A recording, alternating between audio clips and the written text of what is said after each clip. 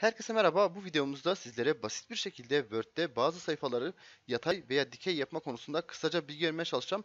Arkadaşlar bir Word belgesini ilk kez açtığınız zaman otomatik olarak tüm sayfalar dikey bir şekilde gelir. Tabi isterseniz bunların tek seferde tamamını yatay yapabilirsiniz.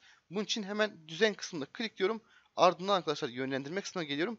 Buradan yatayı seçtiğimde otomatik olarak tüm sayfalar arkadaşlar yatay bir şekle dönüşmüş oluyor. Tabi isterseniz yine bunları tam tersine dikey bir şekle dönüştürebilirsiniz.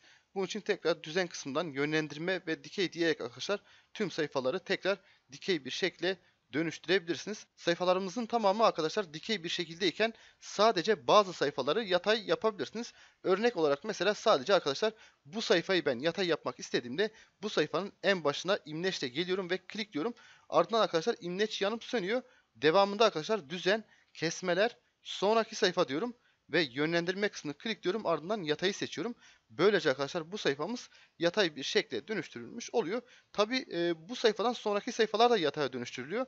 Sonraki sayfaları eski haline getirmek için e, bu sayfanın sonraki sayfanın hemen üst kısmına geliyorum ve klikliyorum. İmleç yanıp söndüğünde arkadaşlar kesmeler diyorum ve buradan sonraki sayfa yönlendirme ve dikey diyorum. Böylece arkadaşlar sonraki sayfalar dikey bir şekle dönüştürülmüş oluyor. Bu sayfamızda arkadaşlar yatay bir şekle dönüşmüş oldu. Yine birden fazla sayfayı yapmak isteyebilirsiniz. Örnek olarak mesela arkadaşlar şu sayfayla e, sonraki sayfayı yatay yapmak isteyebilirsiniz. Bunun için aynı şekilde arkadaşlar bu sayfanın başına geliyorum, klikliyorum.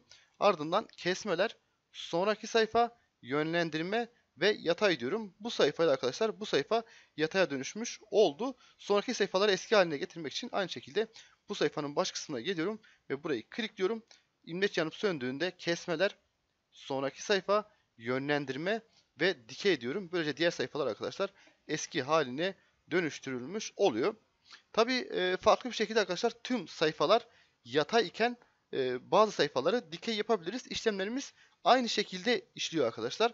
Bunun için arkadaşlar tüm sayfaları yatay yapıyorum. Şöyle düzen kısmından arkadaşlar yönlendirme ve yatay yaptım. Şimdi aralarından arkadaşlar bazı sayfaları dikey yapmak istediğim zaman örnek olarak mesela şu sayfayı dikey yapmak istediğim zaman bu sayfanın başına gelip klik diyorum. Kesmeler, sonraki sayfa diyorum, yönlendirme ve dikey diyorum. Böylece arkadaşlar bu sayfa dikeye dönüşmüş oluyor. Sonraki sayfaları eski haline getirmek için bu sayfanın en başına yani sonraki sayfanın en başına geliyorum ve klik diyorum. İmlecim yanıp söndüğünde kesmeler, sonraki sayfa, yönlendirme ve yatayı seçiyorum. Böylece arkadaşlar diğer sayfalar eski haline dönüştürülmüş oluyor. Bizim istediğimiz sayfalar arkadaşlar e, dikey bir şekilde oluşturulmuş oluyor. Birden fazla sayfayı da arkadaşlar mesela dikey bir şekilde dönüştürmek isteyebilirsiniz. Örnek olarak bu sayfayla mesela bu sayfayı dikey yapalım. Bunun için aynı şekilde bu sayfanın başına gelip klik diyorum. Ardından kesmeler, sonraki sayfa diyorum. Yönlendirme ve dikeyi seçiyorum. Böylece bu sayfalar arkadaşlar dikeye dönüşmüş oldu. Şu iki sayfa dikey zaten sonraki sayfaları eski haline getirmek için e, sonraki sayfanın en başını klikliyorum. Şu şekilde imlecip yanıp sönüyor arkadaşlar kesmeler. Sonraki sayfa yönlendirme ve yatay diyorum. Ve böylece sadece arkadaşlar bu iki sayfamız dikey olarak kalmış oluyor.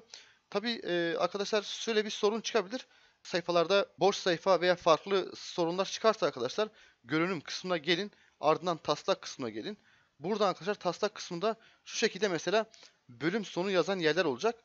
E, hangi sayfa sıkıntı çıkartıyorsa arkadaşlar gelin buradaki e, bölüm sonu yazan yerin şuraya arkadaşlar klikleyin.